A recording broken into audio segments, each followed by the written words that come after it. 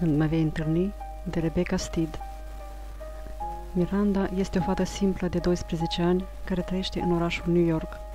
În fiecare dimineață, ea și cu cel mai bun prieten al său, Sal, merge la școală, prin orașul mare și aglomerat, cunoaște aproape toate localurile sectorului și știe să le evite pe cele periculoase. Atelierul auto de pe bulevardul Amsterdam, straniul și bătrânul om fără adăpost, dând din când în când șuturi spre drum, Totul părea stabil și fără mari schimbări, până la o vreme când au început să se întâmple lucruri ciudate pe care Miranda nu le înțelegea încă. Un băiat îl lovește pe sal fără niciun motiv. Dispare cheia de rezervă de la apartamentul Mirandei.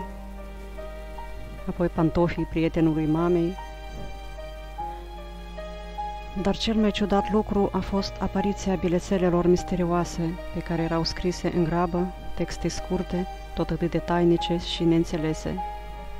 Unii cred că este posibil să știi. Ce anume? Să călătorești în timp. Unii oameni cred că se poate. Oare va da crezare Miranda cuvintelor băiatului ce-l lovise pe sal? Oare va putea ea să dezlege acest mister? Va înțelege oare cine i-a scris aceste bilețele misterioase și pe cine îl va salva necunoscutul tainic? Când mă vei întâlni, este o carte despre relațiile dintre prieteni, dintre copii și părinți, dar mai presus de toate, despre misterul timpului pe care nimeni încă nu l-a înțeles.